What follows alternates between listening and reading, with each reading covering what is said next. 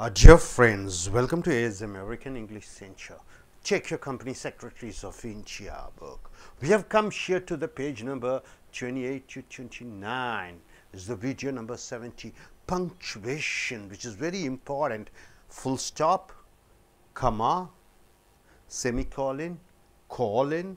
So, so far we have seen quite a lot of punctuation. Now, punctuation number three, we have come here. It is hyphen. Hyphen means what? A small line drawn between two words. When a noun and a verb are combined to form a word, see, hand is a noun, operated is a verb, past tense, right? When a noun and a verb joins together, there, which gives a meaning, there you are using a hyphen, right? Hand operated. The dress is hand operated means what? This is a dress is made by hand. So, hand is a noun, operated is a verb. When noun and a verb joins together to give a meaning, there you are using hyphen. Hand pick.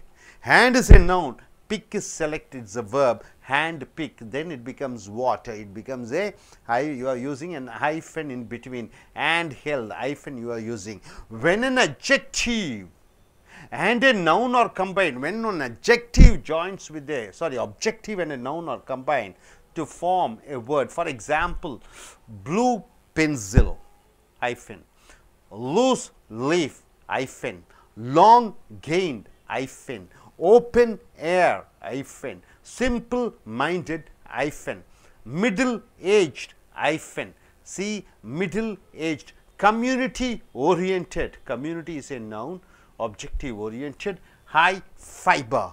When two adjectives are combined to form a word, two adjectives joined together to give a word, there you are using hyphen. Old fashioned, old is an adjective, fashioned is an adjective. Old fashioned means what? Very old type, there you are using a hyphen. Short sighted, short is an adjective, sighted is an adjective, both together join you are using hyphen. Red blooded, there you are using hyphen. So, two adjectives are combined with an hyphen and it gives a meaning. When compound word express an and relation, instead of and you are using hyphen, bitter and sweet. Instead of and you are using hyphen, bitter and sweet. What do you mean by bitter and sweet? Both are antonym, isn't it? Taste is bitter. Bitter means what? Kasapu, you know, sweet.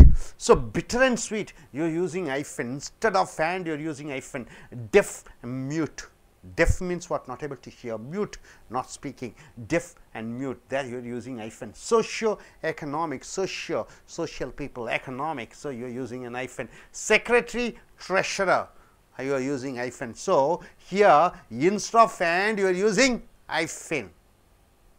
When combo number between 21 and 99, 21 and 99, see the number 21 and 99 are spelled out. How is it spread? See 55, how do you say 50 hyphen 5, 55. 631, 31, right.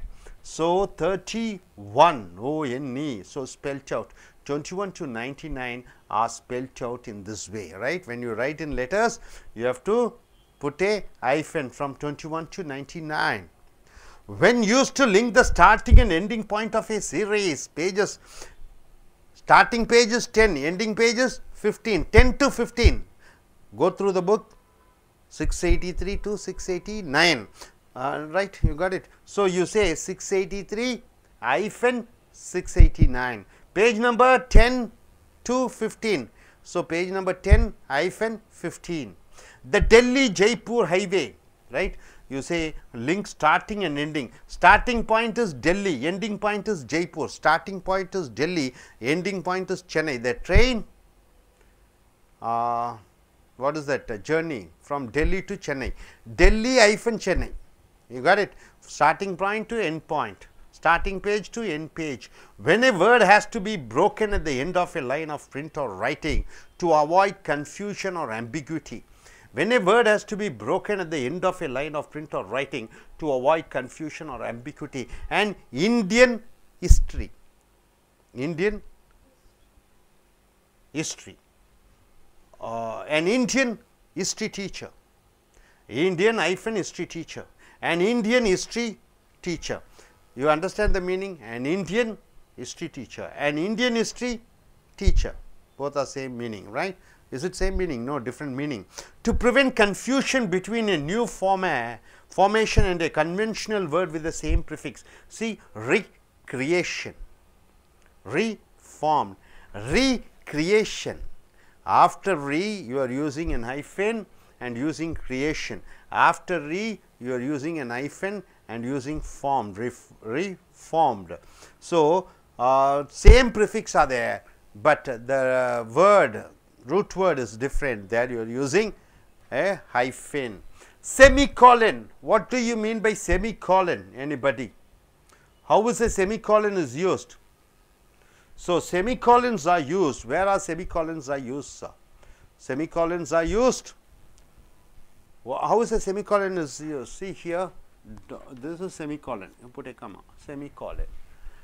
It is used to separate two or more independent classes. Independent classes means what? Separate classes, separate sentences which are of more or less equal importance in sentences.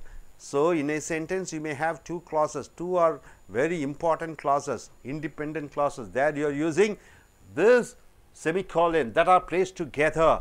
The use of semicolon emphasizes or adds weight to the second clause. So, second clause is the, it has the more weight to err is human, to make mistakes is human. Then you are using semicolon to forgive divine.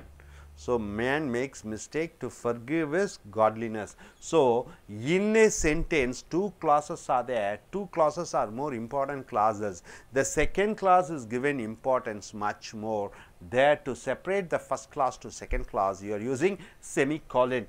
Semicolons are also used to join word, joining the words, group of words, sentences there you are using semicolon. Separate word groups that already contain commas.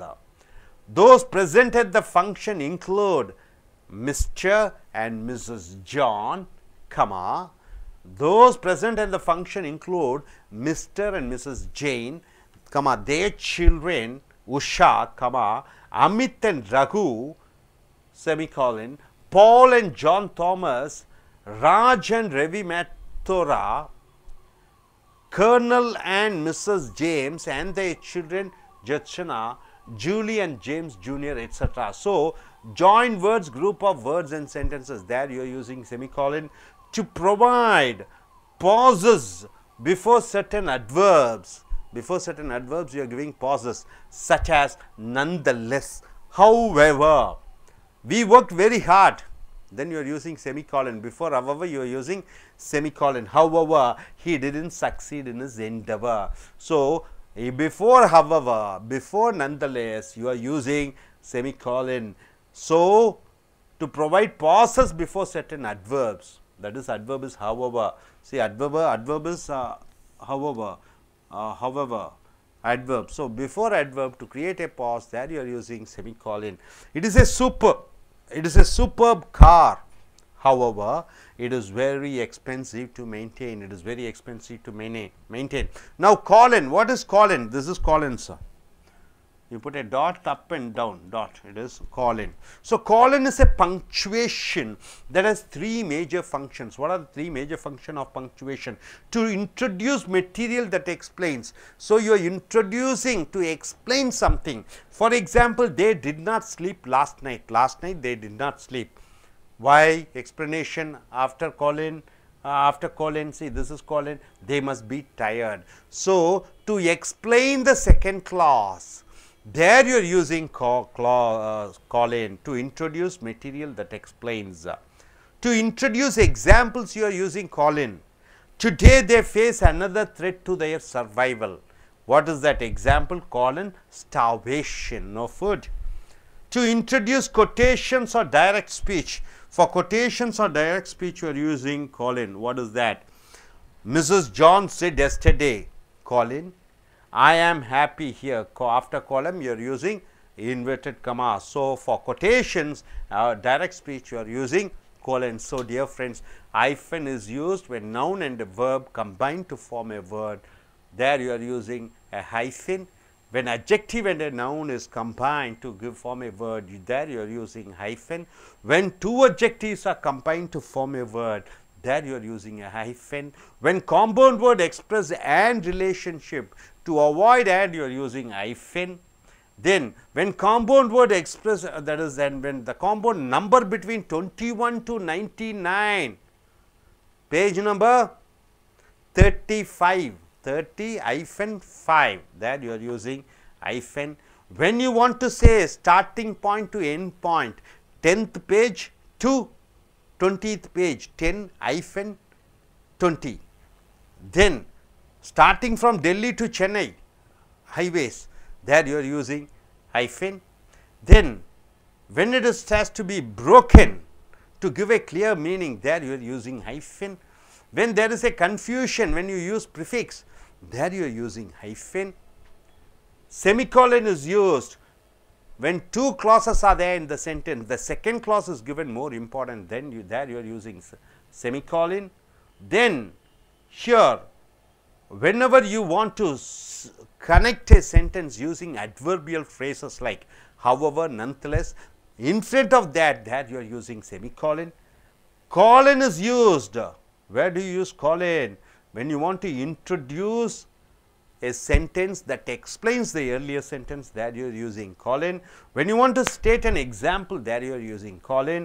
When you want to say something direct speech, there you are using colon. Hope you are able to understand. So, I request Tamil Koji to come forward. Okay, okay, நண்பர்களே ace American ஆங்கில வகுப்புகளுக்கு வரவேற்கிறோம் குறிகள் ஆங்கிலத்திலே எழுத்து ஆங்கிலத்திலே மிக மிக முக்கியம் இன்று காலையிலே நீங்கள் எழுதினீர்கள் இருபத்தி நான்கு வாக்கியங்கள் அல்லவா அதில் என்ன குறி போட்டிருக்கிறீர்கள்? ஒரு புள்ளி குறியும் போடவில்லை. ஃபுல் ஸ்டாப் போட வேண்டும் அல்லவா வாக்கியம் முடிந்தவுடன் என்ன போட வேண்டும்? ஃபுல் ஸ்டாப் ரெண்டாவது ஒரு குறியை சொல்லுங்கள் பார்க்கலாம். வாக்கியத்தினுடைய ஆரம்பம் எப்பொழுதுமே பெரிய எழுத்துக்களில் இருக்க வேண்டும். ரைட்டா அது ஒரு குறி. ஆக குறிகள் ரொம்ப ரொம்ப முக்கியம்.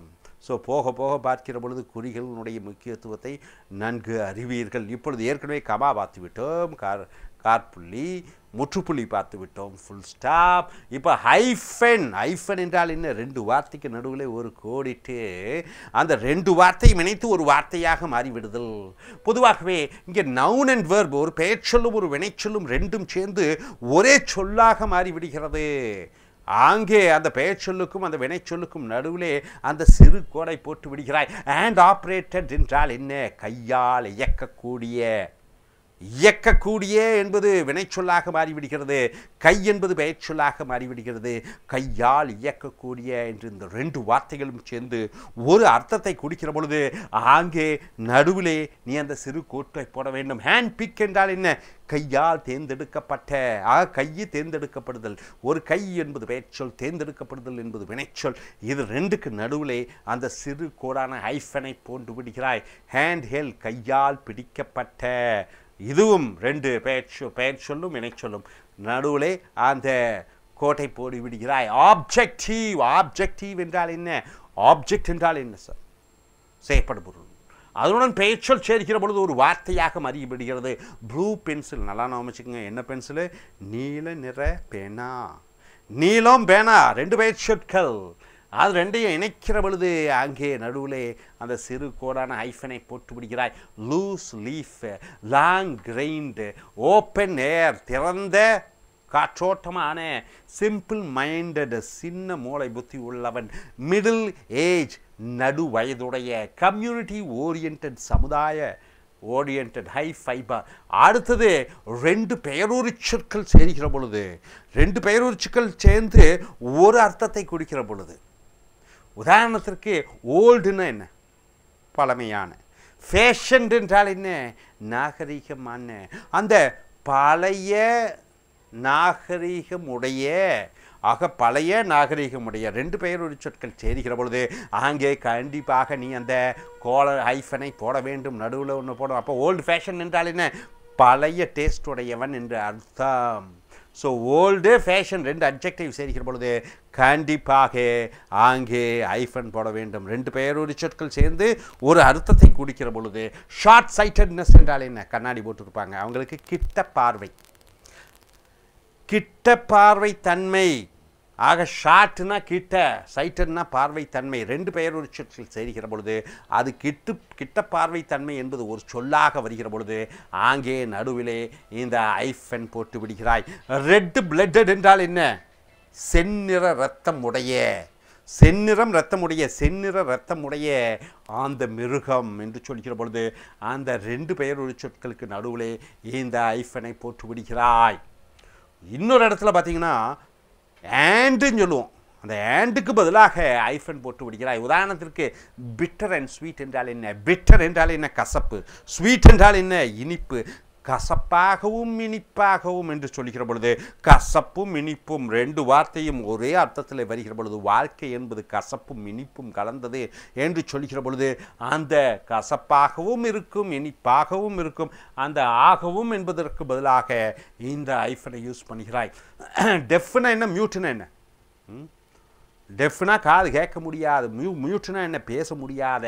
ஆக இது ரெண்டுக்கும் நடுவிலே இணைக்கிறாய். ஐஃபனை பயன்படுத்தி சோஷியோ எக்கனாமிக் சமுதாய எக்கனாமிக் என்றால் பொருளாதாரம் சமுதாய பொருளாதார ரீதியாக இது ஆண்டு போட வேண்டும். அதற்கு பதிலாக இந்த ஐஃபன் யூஸ் பண்ணுகிறாய். செக்ரட்டரி ட்ரெஷரர் எனக்குனுடைய தனி செயலாளராகவும் இருக்கிறார். என்னுடைய கஜானாவை பணத்தை பார்க்கக்கூடியவராகவும் இருக்கிறார். ஆக ஆண்டு பதிலாக இந்த சிறு கோட்டை போட்டு விடுகிறாய் ஐஃபன் அடுத்தது எப்பொழுதெல்லாம் இருபத்தி ஒன்றிலிருந்து தொண்ணூற்றி ஒன்பது வரைக்கும் சொல்லுகிறாயோ? வார்த்தைகளாக அங்கே கண்டிப்பாக ஐஃபன் போட வேண்டும். முப்பத்தி முப்பத்தி அஞ்சு ரூபா எப்படி சொல்லுவேன் முப்பத்தி அஞ்சு எப்படி எழுதுவேன் தேர்ட்டி ஐஃபன் ஃபைவ் ஒரு சிறு கோடு போட வேண்டும் நடுவில். இருபத்தி ஒன்றிலிருந்து தொண்ணூற்றி ஒன்பது வரைக்கும் எழுத்து ஆங்கிலத்திலே கண்டிப்பாக நடுவிலே அந்த ஹைஃபன் போட வேண்டும். ஐம்பத்தி ஐந்து ஃபிஃப்டி டேஷு ஃபைவ் அந்த டேஷ் என்பது தான் ஹைஃபன் ஐம்பத்தி ஐந்து. Six hundred and thirty one அறுநூற்றி முப்பத்தி ஒன்று முப்பத்தி ஒன்று முப்பது தேர்ட்டி ஹைஃபன் ஒன்று. அங்கே நடுவில் ஒரு சிறு கோட்டு போட்டு விடுகிறாய். அடுத்ததாக when use to link the starting and ending point of a series series என்றால் என்ன? உதாரணத்திற்கு பக்கம் பத்துலேருந்து பதினஞ்சு படிச்சுட்டு வா நாளைக்குன்னு சொல்கிறேன் நீ என்ன எழுதுவ? பக்கம் பத்து ஒரு சிறு கோடு போட்டு பிடிக்கிறாய். அதான் ஐஃபனு பதினஞ்சு பத்தாவது பாகத்திலிருந்து பத்தாவது பக்கத்திலிருந்து பதினைந்தாவது பக்கம் என்று சொல்லிக்கிற பொழுது அங்கே கண்டிப்பாக ஐஃபன் யூஸ் பண்ண வேண்டும். அதே போன்று ஒன்று ஆரம்பித்து ஒன்று முடியக்கூடிய உதாரணத்திற்கு டெல்லியிலிருந்து சென்னை என்று சொல்கிறாய்.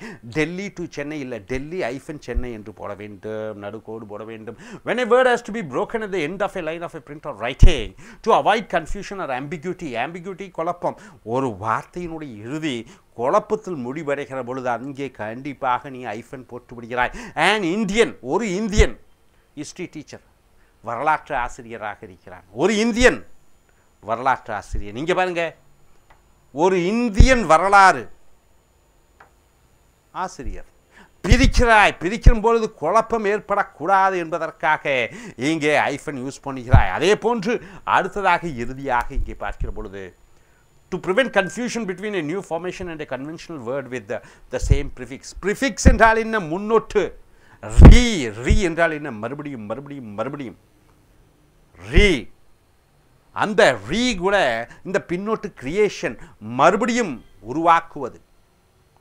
ரீஃபார்ம் மறுபடியும் உருவாக்கினது. ஆக இந்த வாக்கியத்தினுடைய வார்த்தையினுடைய குழப்பம் இல்லாத இருக்கக்கூடாது என்பதற்காக ஐஃபன் யூஸ் பண்ணுகிறாய் அடுத்ததாக இங்கே பார்க்கிற பொழுது செமிகாலன் செமிகாலன்னா மேலே ஒரு புள்ளியை போட்டு கீழே ஒரு கமாவாரி போட்டு விடுகிறாய். இது எங்கே பயன்படுத்தப்படுகிறது என்று சொல்லுகிற பொழுது டு அர்ரஸ் ஹியூமன் தவறு செய்வது மனித இயல்பு. டு ஃபர்கிவ் மன்னிப்பது தெய்வா தெய்வாதீனம். தவறு செய்வது மனித இயல்பு. மன்னிப்பது கடவுள் தன்மை உடைய குணம் அப்படின்னு சொல்கிறோம் இதில் எது முக்கியமான வாக்கியம்? ரெண்டாவது இல்லை? தப்பு பண்ணுறது சாதாரண வாக்கியம். மன்னிப்பது தெய்வாதீனம். ஆக ஒரு வாக்கியத்திலே ரெண்டு பிரிவினை வாக்கியங்கள் வருகிறது. இந்த ரெண்டாவது பிரிவினை வாக்கியம் முதல் வாக்கியத்துடன் சம்பந்தப்பட்டிருக்கிறது. ரெண்டாவது வாக்கியம் மிக மிக முக்கியமான வாக்கியமாக இருக்கிற காரணத்தினாலே ஆங்கே ரெண்டுக்கும் நடுவிலே நீ இந்த செமிகாலனை போட வேண்டும். அடுத்ததாக செமிகாலன் எங்கே யூஸ் பண்ணுகிறா என்று பார்க்கிற பொழுது join words group of words and separate word groups that already contain commas. ஏற்கனவே கமா கமா என்று போட்டிருக்கிற பொழுது புதிய வாக்கியங்களை எழுதுகிற பொழுது அங்கே நீ இந்த செமிகாலனை பயன்படுத்துகிறாய். Those present at the function include Mr and Mrs Jain அந்த விழாவிலே இருக்கக்கூடியவர்களிலே மிஸ்டர் அண்ட் மிஸ்ஸஸ் ஜெயின் இருக்கிறார்கள். அவர்களுடைய குழந்தை இருக்கிறார்கள் கமா போட்டு விடுகிறாய். அந்த குழந்தைகளுடைய பெயர் என்ன? உஷா ஒன்று அமித் ஒன்று ராஜு. ஆச்சா அடுத்தது நீ இன்னொன்று போடுற. என்ன சொல்கிற அடுத்த நபர் யார்? ஒன்று வந்து இந்த குடும்பம் ஜெயின் குடும்பம் அவங்க குழந்தைக அவங்க குழந்தைகள் பேரெல்லாம் எழுதிட்ட முடிச்சுட்ட நீ அடுத்தது போகணும். இன்னும் யார் இருற யார் யார் இருக்கா? ஏன்னா இது ஒரு டீமு. அது கமா கமான்னு போட்டேன் அடுத்த டீமு அங்கே இங்கே செமிகாலன் போட்டு பாலு ஜாத் ஜோ தாமஸ் ரெண்டு பேர் இருக்காங்க. அவங்க குழந்தைகளில் குழந்தை ரெண்டு பேர் வந்துட்டாங்க. இனி அடுத்த ஜோடிக்கு போ. யார்? ராஜு ரவி மல்ஹோத்ரா அவங்க வந்திருக்காங்க. அவங்க ஒரு செட்டு முடிச்சுட்டேன். இனி அடுத்த செட்டு போ. யார்? க கேர்னலு மிஸ்ஸஸ் ஜேம்ஸ் வந்திருக்காங்க. கேர்னலும் ஜேம்ஸ் வந்திருக்காங்க. இனி அவங்க சில குழந்தைகள். யாரெல்லாம் அவங்க குழந்தைகள்? ஜாக்சிஸா ஜூலி ஜேம்ஸு ஜூனியர் எட்ஸட்ரா ரைட்டுங்களா ஆக ஒரு பல வாக்கியங்கள் வாக்கியத்திலே வருகிறதே. ஆங்கே கமா கமா என்று போட்டு பல கமாக்கள் வருகிற பொழுது ஒவ்வொரு தனித்தனி குழுக்களாக பிரிக்கிற பொழுது ஆங்கே செவிகாலன் பயன்படுத்துகிறாய். அதே போன்று to provide pauses before certain adverbs such as nonetheless nonetheless என்றால் என்ன? அதற்கு எந்த விதமாக குறையும் இல்லாமல் however எப்படி எனினும் ஆக ஒரு வாக்கியத்திலே ஹவ்வவர் எப்படி எனினும் என்று ஒரு வார்த்தை வருகிறது. அல்லது வினையுறு சொல் வருகிறது. அதற்கு இடைவெளி விட வேண்டும். ஆங்கே நீ செமிகாலன் போட்டு விடுகிறாய். ஈ ஒர்க் வெரி ஹார்ட் அவன் கடுமையாக உழைக்கிறான். எப்படி எனினும்? ஹீ டிட் நாட் சக்சீட் அவன் வெற்றி அடையவில்லை. இன்னும் சென்றவர் அவனுடைய முயற்சியில் அவன் கடினமாக உழைக்கிறான். அவனால் வெற்றி அடைய முடியவில்லை. அவன் கடினமாக உழைக்கிறான். ஹவ்வவர் எப்படி எனினும் எப்படியானாலும் பிரயோஜனம் இல்லை என்னானாலும் பிரயோஜனம் இல்லை அவனுடைய முயற்சிகள் வெற்றி அடைவதில்லை. அவன் கடுமையாக உழைக்கிறான். அங்கே அந்த செமிகாலனை போட்டு விடுகிறாய். டு எம்பசைஸ் கான்டாக்ட்ஸ் எதிர்மறையை சொல்ல வேண்டும் என்கிற இடத்துல இங்கே இந்த செமிகாலனை போட்டு விடுகிறாய். இது சூப்பர் கார் அது ஒரு அருமையான கார் ஆனால் ரொம்ப காஸ்ட்லி அதை மெயின்டைன் பண்ணுறது ரொம்ப costly it is a super car அங்கே செமிகாலன் போட்டு பிடிக்கிறாய் ஹவ்வவர் எப்படி எண்ணினும்? It is very expensive to maintain அதை கவனிப்பது ரொம்ப ரொம்ப பெரிய காரியமாக இருக்கிறது. அடுத்தது காலன் என்றால் மேலே ஒரு புள்ளி ஒரு கீழே ஒரு புள்ளி. இங்கே செமிகாலன்னா மேலே ஒரு புள்ளி கீழே ஒரு கம்மி கமா இங்கே காலன் என்பது மேலே ஒரு புள்ளி கீழே ஒரு கம் கமா கீழே ஒரு புள்ளி is a punctuation that has three major functions இந்த காலனுக்கு மூன்று உபயோகங்கள் இருக்கிறது. To introduce material that explains ஒரு வாக்கியமாக விளக்கங்கள் குடிக்கிற பொழுது இங்கே மேல ஒரு புள்ளி கீழே ஒரு புள்ளி குடிக்கிறோம். They did not sleep last night நேத்திரவு அவர்கள் தூங்கவில்லை. விளக்கம். என்ன விளக்கம்?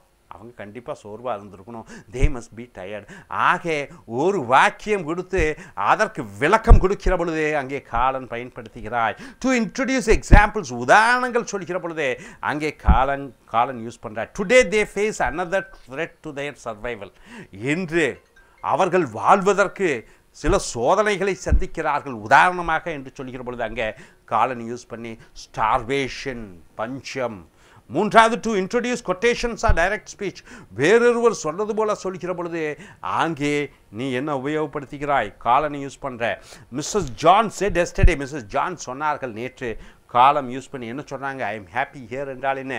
நான் சந்தோஷமாக இங்கே இருக்கிறேன் என்று சொல் நண்பர்களே ஐஃபன் எங்கெங்கே யூஸ் பண்ணுற நவுனும் வேர்வும் சேர்ந்து ஒரு வார்த்தையாக பயன்படுத்தப்படும். குடிக்கிற பொழுது ஒரு அப்ஜெக்டிவ் நவுன்னு சேர்கிற பொழுது அங்கே ஒரு அர்த்தமாக குடிக்கிற பொழுது ஒரு வார்த்தையாக வருகிற பொழுது அங்கே ஐஃபன் ரெண்டு பெயரொரு சொற்கள் சேர்கிற பொழுது ஆங்கே நடுவில் ஒரு ஐஃபேன் காம்பவுண்டு ஆண்டுக்கு பதிலாக ஒரு வார்த்தை ஒரு வார்த்தையும் சேருகிற பொழுது அங்கே ஹைஃபேன் ஆக இருபத்தி ஒன்றிலிருந்து தொண்ணூற்றி ஒன்பது வார்த்தைகள் எழுத்து மூலமாக எழுதுகிற பொழுது அங்கே ஹைஃபேன் அடுத்தது ஒன்றிலிருந்து ஒன்று முடிகிற வரைக்கும் என்று சொல்கிற பொழுது பத்தாவது பக்கத்திலிருந்து பதினைந்து என்று சொல்கிற பொழுது அங்கே ஐஃபேன் ஒரு இடத்திலிருந்து இன்னொரு இடம் வடபள்ளியிலிருந்து கோடம்பாக்கம் என்று சொல்கிற பொழுது அங்கே ஒரு ஹைஃபேன் அடுத்தது வாக்கியத்தினுடைய இறுதியிலே அந்த குழப்பங்கள் கொடுக்கக்கூடாது என்பதற்காக ஐஃபேன்.